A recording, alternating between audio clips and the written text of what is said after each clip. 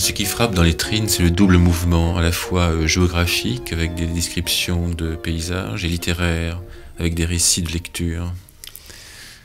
Oui, ils se, réunissent, si vous voulez, un peu, comme je le disais tout à l'heure, en sens que ce sont des choses qui viennent en avant de moi et qui, créent un choc auquel on réagit.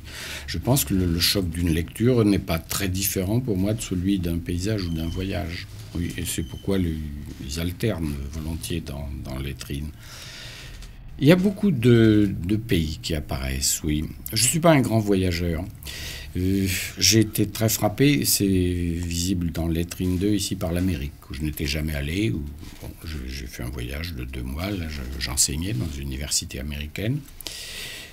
Euh, la nouveauté du pays, ça m'a frappé beaucoup et c'était un réactif très, très excitant.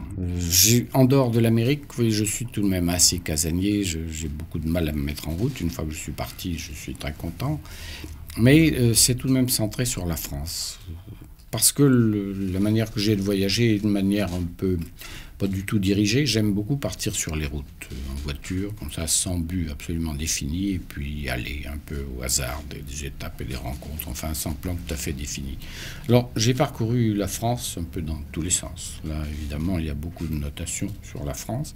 J'y retourne toujours, je trouve que c'est inépuisable. Il y a des régions en particulier où je reviens souvent, où les gens vont peu, qui sont presque inépuisables, comme le Massif central, qui a une diversité extraordinaire, où j'aime beaucoup retourner toujours. En dehors de la France, alors, et de ce voyage en Amérique, j'ai vu un peu l'Europe, oui, l'Espagne. Je suis allé plusieurs fois un peu l'Italie, mais enfin, je n'étais jamais allé à Rome avant l'année dernière. Je ne suis pas un grand connaisseur de l'Italie. La Suisse, l'Allemagne, les pays scandinaves. L'Angleterre, où j'ai séjourné un peu la Hongrie, ça se borne là. Je ne suis allé ni en Afrique ni en Asie. Je ne suis pas un très grand voyageur, mais je ne pense pas que ce soit la, diversité euh, très grande des pays traversés qui amène à être paysagiste ou à s'intéresser au paysage.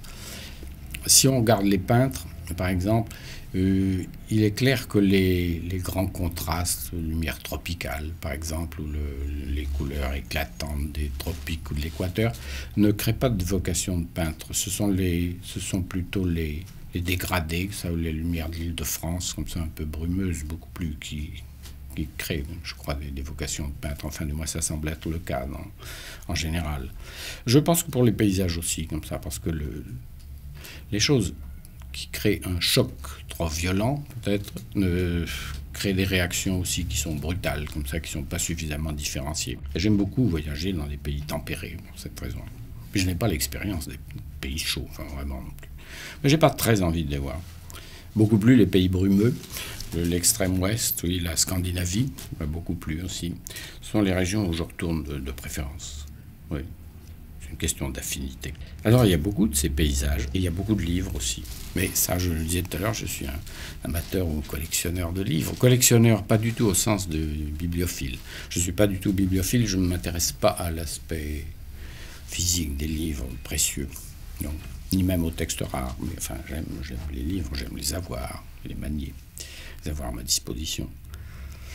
C'est ça le contenu de Lettrine est en effet fait de ces paysages, de ces lectures, beaucoup, ces comparaisons entre lectures, et puis aussi, je crois, de choses qui sont envisagées d'un point de vue historique, dans l'écoulement du temps.